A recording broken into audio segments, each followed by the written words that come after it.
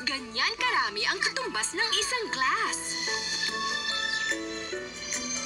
Hmm, yan ang gatas ng batang may laban.